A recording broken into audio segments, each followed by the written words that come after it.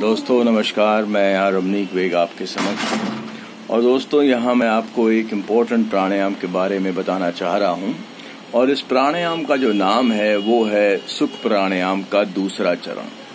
अब सुख प्राणायाम का जो दूसरा चरण है, ये बहुत सारी बीमारियों में काम आता है, जैसे कि हृदय रोग धमनियों में जिनको रुकावटें होती हैं, वहाँ पे उच्च रक्तचाप, जिनको कोई स्ट्रोक कभी हुआ है जिनको डिप्रेशन अवसाद की दिक्कत है, ऐसे सारी बीमारियों में बहुत इम्पोर्टेंट प्राणायाम कहलाता है।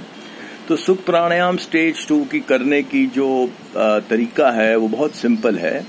करना कुछ इस प्रकार होता है कि पहले हम दोनों ही नासिकाओं से पाँच की गिनती में सांस लेते हैं और पेट हमारा पूरा बाहर की ओर फूल जाता है।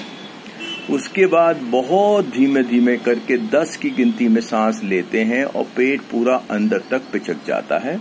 ऐसा करने में हमारा एक राउंड संपूर्ण होता है सुख प्राणायाम स्टेज टू का।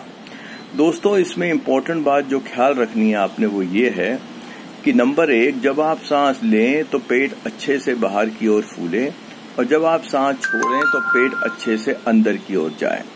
दूसरी इम्पोर्टेंट बात जो आपको ख्याल रखनी है कि पाँच की गिनती में सांस लेनी है और दस की गिनती में निकालनी है। यानी कि निकालने में बिल्कुल दुगना समय लगना चाहिए। ऐसा ना हो कि आप सात या आठ की गिनती में सारा सांस निकाल दें और जब आप नौ, दस की गिनती कर रहे हैं तो केवल पेट अंदर पिचका रहे हैं, परंतु सांस तो सारी निकल चुकी है।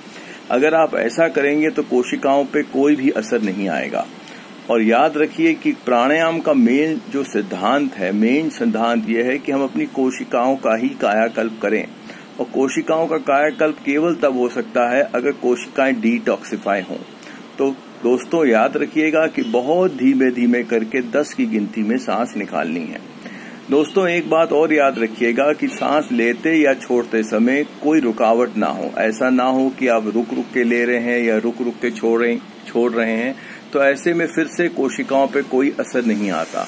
तो याद रखिएगा कि एक ही लय में सांस भरनी है पाँच की गिनती में और एक ही लय में सांस छोड़नी है दस की गिनती में। अच्छा दोस्तों, मैं चलता हूँ यहाँ फरीदाबाद से। मेरा आप सबको नमस्कार।